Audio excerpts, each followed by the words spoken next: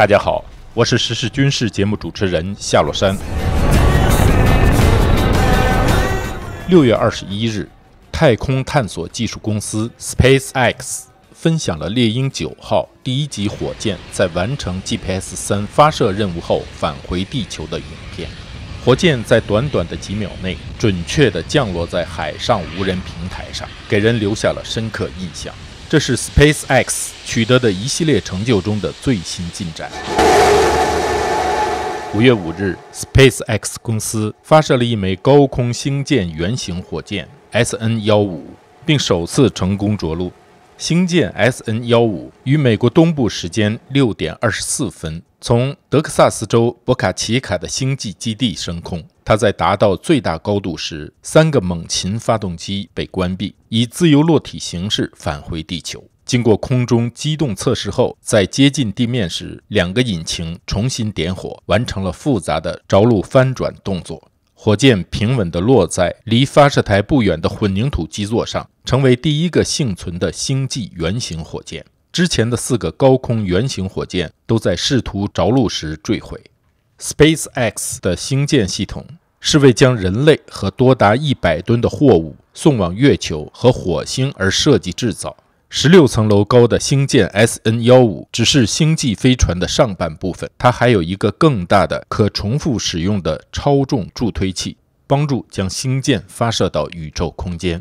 今年四月，美国太空署向马斯克的 SpaceX 投资二十九亿美元，用于二零二四年前后的两次登月任务。同时，SpaceX 成功地引起了美国空军和国防部的特殊兴趣。今年六月初披露的二零二二财年预算数据显示，美国国防部打算向一个新的创意投资四千七百九十万美元。这个创意承诺，在以分钟计算的时间内，将重型有效载荷运送到世界任何地方。不到五千万美元的投资，与许多军事项目相比，规模不大。但足以表明军方在那里看到的潜力。这个计划就是将 SpaceX 的星舰当作洲际运输工具，像洲际弹道导弹那样发射。所不同的是，到达目标位置的不是拥有巨大杀伤力的核弹头，而是满载的货物和军事装备。让我们假设某天早晨七点，从漂浮在纽约长岛附近的海上平台上发射了一艘运输型星舰火箭，它载有一百吨重的货物，以每小时一万八千英里的速度飞行。大约三十分钟后，星舰在日本东京附近的海上平台降落。要知道，现在世界上几乎没有任何航空公司能够在这么短的时间内完成这样的运输任务。即使用世界上最大的运输机跨越一万一千公里的飞行，所需的时间也要超过十三个小时，而星舰所用的时间不足它的百分之五。听起来像极了科幻小说，但事实上，美国军方希望利用太空火箭运送物资和兵员的梦想已长达七十年之久。美国太空计划教父级人物维尔纳·冯·布劳恩五十年代首次提出了这一设想，他认为在一代人的时间内就可以实现。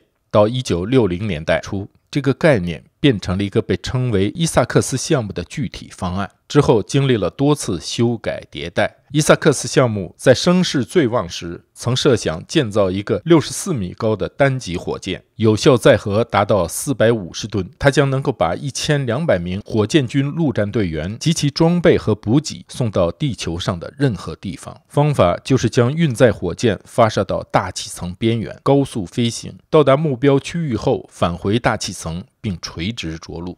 数年后，该计划由于不完全是技术的原因被取消。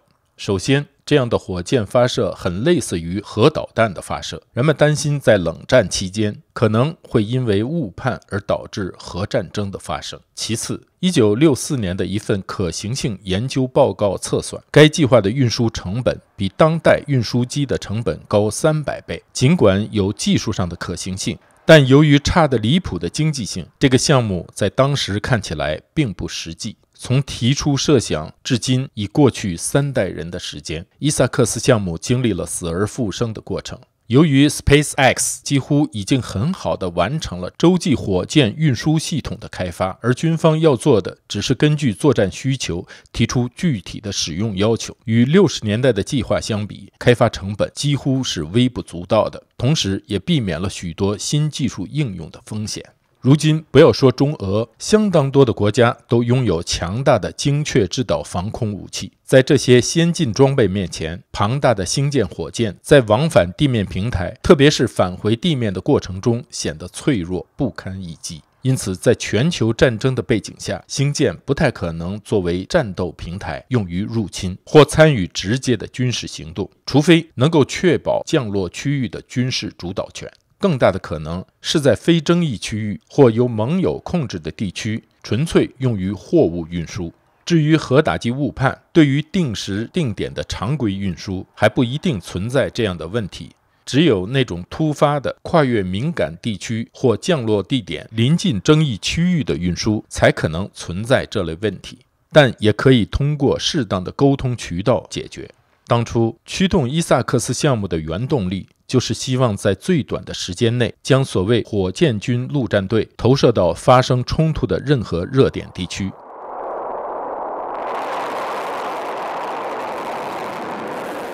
这在现代战争环境下几乎是不可想象的。听起来有点让人失望，它太受限于现在的战场环境了。实际上，如果美国军方想让这样一个系统真正发挥作用，还有很多其他困难需要解决。这就是为什么这个计划一直停滞在调查评估阶段的原因。然而，许多人还是看到了它在未来商业军事领域存在的潜力。毕竟，它拥有运输能力和时间上的巨大优势。在军事领域，由于时间的敏感性，其军事意义还是十分重大。哪怕只有一部分能力可以得到确认，军方也会抓住机会利用它。美国空军已经在2021财政年度预算中拨出970万美元用于相关的研究，在2021和2022财年之间，用于该项目的资金增长了将近五倍。这反映了初步的结果是令人满意的。这些成果所标志的潜力，不仅从预算的增加中可以看出。而且从项目发展状况中也可以看出，二零二一年六月四日，美国空军宣布星舰运输是四个优先计划之一，这使该项目与备受关注的中程翼人无人机计划、金帐汉蜂群弹药计划和新型先进导航卫星计划相提并论。美国空军在二零二二财年超过两千亿美元的国防预算说明书中提到，星舰运输项目。将用于全球范围的货物运输。计划的目标是利用商业投资开发有史以来最大的运载火箭，并在运载火箭完全可以重复使用的情况下，开发和测试商业火箭的能力，以做到在不到一个小时的时间内，自动将上至一百吨的货物或军事装备运送到地球的任何地方。马斯克的 SpaceX 本来是为了实现地球到火星的旅行而发展的。但在地球上实现任意距离的点对点运输，可能成为一个附带的收获。SpaceX 已经广泛宣传了这一开拓性的运输方式，它将像普通的商业飞机一样方便。但最大的区别是，它的运行速度超过二十马赫。这一特点自然把它与美国空军的想法联系在一起。由于星舰运输项目的日益成熟，现在空军的注意力已经开始转向与之相关的其他计划，诸如开发火箭上的快速装卸系统与用户接口的基础设施，以及减少对手的可探测性的隐蔽措施等。一旦技术准备就绪，空军希望成为最早的用户，这可能发展成 SpaceX 的一项重要的新业务。马斯克在2017年首次提出星舰运输方案时，还是基于商业的愿景，设想在主要城市附近海域的太空港之间进行亚轨道太空飞行。用于发射和着陆的星舰基础设施将距离城市足够远，以减少火箭发动机噪音和飞行器产生的音爆对城市的影响。通过水面或轨道等高速运输工具与城市相连。星舰系统将在载人飞行之前完成可能是数百次的飞行，以确保其达到像民航客机一样的可靠性。最早会在2022年开始第一次地球上点对点的测试飞行。星舰的机身将可以重复使用上百次，届时其使用成本将降低到现在的百分之十以下。星舰运输计划虽然得到军方的全面支持，但它在面临技术挑战的同时，还面临着商业挑战。其中一个重要因素就是即将卷土重来的超音速运输机。虽然它们没有星舰快。但它们可以提供看起来相对比较安全的替代运输方案。这两种改变未来的运输方式，可能在2020年代一决雌雄，胜出者将成为地球上运输的未来。今天的话题就到这里，谢谢您的关注，我们下次见。